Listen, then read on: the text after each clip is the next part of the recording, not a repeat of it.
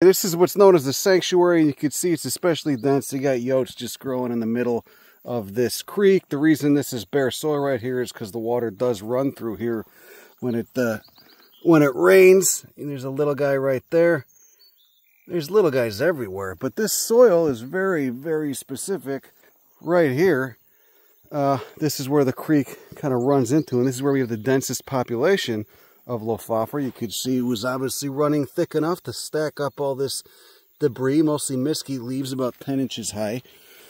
And stepping right on through here, can see it was a virtual uh, little creek running through it right through here.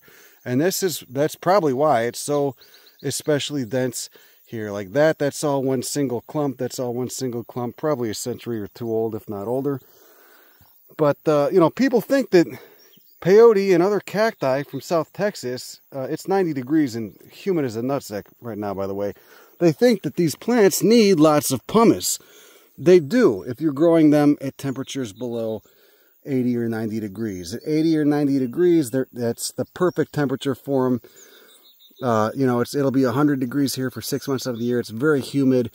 That's what gets their metabolism going. That's the temperature that their metabolism evolved with. That's when they're going to be most active, both metabolizing and photosynthesizing. Right? It cools down to 80 degrees at the coolest at night uh, between April and November.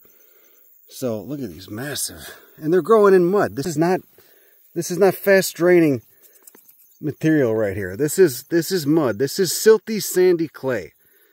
So it's not the soil that's so important to them. You use a lot of pumice and you're in a you know a place like southern Arizona or South Texas, you're going to kill them. It's going to be far too dry.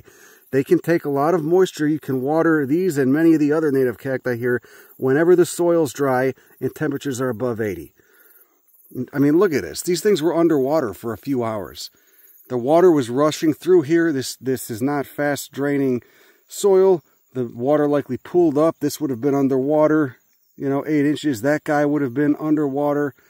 All right, this is the habitat you see in South Texas. West Texas, West Texas is a different story. It's much drier, and they don't grow out of the ground like this. They both basically grow recessed into the ground and flat.